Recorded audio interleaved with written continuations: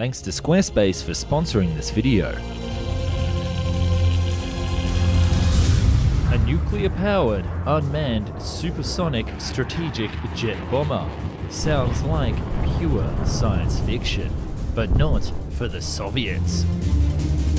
This was an insane seaplane idea conceived and explored way back in the 1950s as part of the Communist Manifesto for World Domination.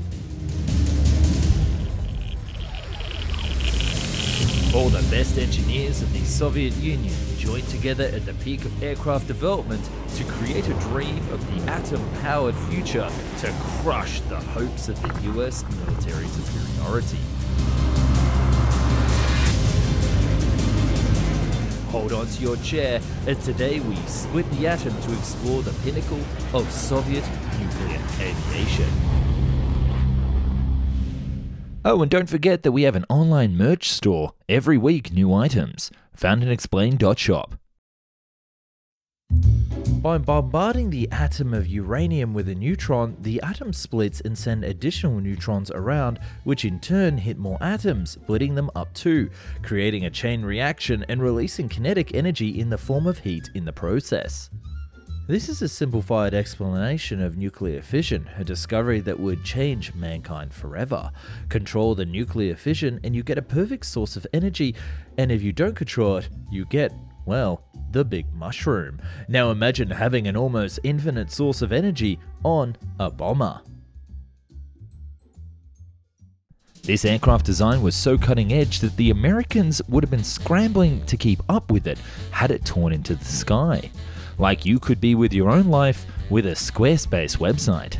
Just like those Soviet masterminds, Squarespace has something new called the Fluid Engine. Start with the best in class website template and customize every detail with reimagined drag and drop technology for desktop or mobile, so you don't have to build two sites. Stretch your imagination online with the Fluid Engine built in and ready to go with any new Squarespace site. Plus, that's not all. Every Squarespace website can have a built in shop to start selling right away, and you can use the campaign marketing tools to start driving business instantly. Seriously, Squarespace is the secret weapon that I even use for my online store, foundandexplained.shop. Thanks, Squarespace. If you want to support the channel and see more videos just like this and get 10% off your first site and domain, go to squarespace.com/found. I'm excited for your success and a special warm hug to all those who click the link helping make videos just like this.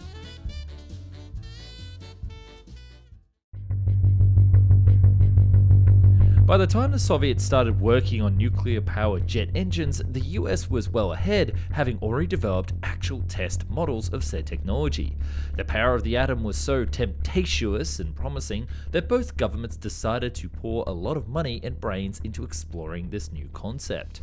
The 50s also marked the beginning of the supersonic era, and both sides of the Iron Curtain were competing in building faster and sleeker bombers to carry deadly nuclear warheads to the other side. A game of cat and mouse of catastrophic proportions.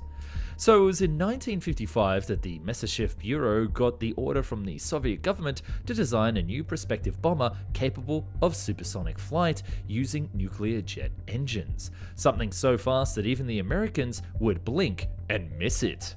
The Saturn Bureau was tasked with developing the said engines, and Tupolev had to test all of the safety and weight requirements for flying a nuclear reactor on board the aeroplane. The bar was set high, and the game was on.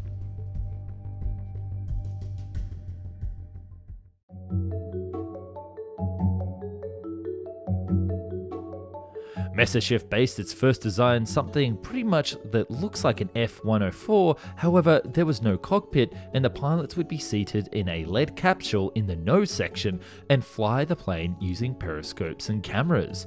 Not exactly ideal, but the only way to avoid the radiation. Another design used the M50's airframe as its base, with the pilot being seated in the tail section and the main engine and reactor in the nose. Kind of an Uno reverse of a plane. However, not only was it that this was extremely hard to operate this aircraft from the closed capsule, but the capsule itself would weigh around 30% of the total weight. Add in a nuclear reactors with engines to that number, and the actual load capacity goes down drastically. it essentially becomes a giant paperweight. Meanwhile, at Tupolev, they modified a single Tu-95 airframe, now called the Tu-95 LAL, with the suffix standing for Flying Atomic Laboratory, which had that nuclear reactor but was not used to power the engines, just to test the shielding and stability in flight. With manned options being pretty much useless at this point, Myasishchev started thinking outside of the box and proposed something even crazier. One might ask how exactly a nuclear powered jet engine would work. Well, if you're not familiar with jet engines themselves, let's explain the engineering behind it first. In very simple terms, air is sucked in front of the engine and then compressed, and as the air compresses, it also gains heat. Now, this compressed air is mixed in with fuel and combusted. It's then pushed through the turbine, which uses its energy to power the compressor and blast out the back of the engine. Simple. Now, what if we use something else to heat the compressed air before pushing it out, something like a nuclear reactor? The Soviets developed two variants of this engine. The first one would house the reactor separately from the turbine shaft, and the other one would have a shaft placed in the axes of the reactor.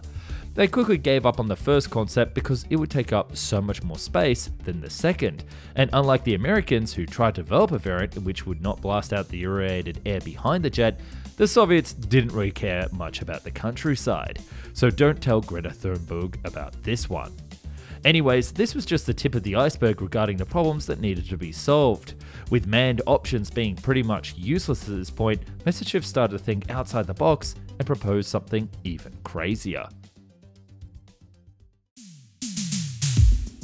The project, dubbed PAS or Prospective Nuclear Powered Aircraft, was internally called Project 60 in the Bureau and hence why the final design got the designation M60M. And boy, was this a nuts jet. First, the Soviets removed the pilots. The M60M would have been an unmanned aircraft, or a drone if you prefer. By dropping the pilots, you would also drop some 10 to 20 tons of lead shielding around the cockpit from the aircraft and make room for more ordnance. The aircraft would then be fitted with weapons bays carrying nuclear bombs or even missiles with nuclear warheads. The range was also increased from a planned 15,000 kilometers to 25,000 kilometers. The drag was reduced significantly with the new design and it was fitted with four engines, giving it insane power and an easily achievable speed of over Mach 3. Then there was also another issue. Any airfields where these aircrafts were based were potentially Chernobyls waiting to happen because if anything went wrong at any moment during takeoff or landing, then you have four nuclear reactors melting down in your yard. But that's exactly why the M60M would be a seaplane fitted with retractable skis for landing and reducing the risk of a complete land-based disaster. However, one event happened in 1957 that made this whole fever dream of a project simply obsolete. With the first successful flight of the R-7 rocket and further development of ICBMs, supersonic bombers, be it standard or nuclear powered, were simply not interesting. Why send a pilot on a risky mission in a multi-million dollar jet if you can just launch a ballistic missile instead? You don't even care if the delivery vehicle survives the trip. And don't get me started on all the ways something could go wrong with an unmanned flying nuclear bomber in the 1950s with Soviet tech. Not to be disheartened, Tupolev tried making his own proposal of a plane called the Tu-119, which was to be powered by four nuclear-powered turboprop engines. And even though the Tu-95 LAL had over 30 successful flights, the 119 was never built. Antonov tried experimenting with anti-submarine aircraft, which would be nuclear powered, and even made a flying laboratory based on the modified AN-22 airframe. However, by the late 1960s, all the projects were abandoned and the idea of a nuclear powered aircraft was dead. The Americans tried with their Project Pluto, a nuclear ramjet engine for SLAM missiles, and there was even information about a nuclear powered drone like the Global Hawk that could stay up in the air for months at a time, while Russia is said to be experimenting with similar concepts even today. Let me know if you would like a video on Project Pluto or any other nuclear powered project. Thanks so much for watching and don't forget to subscribe to the channel and I'll see you in the next video.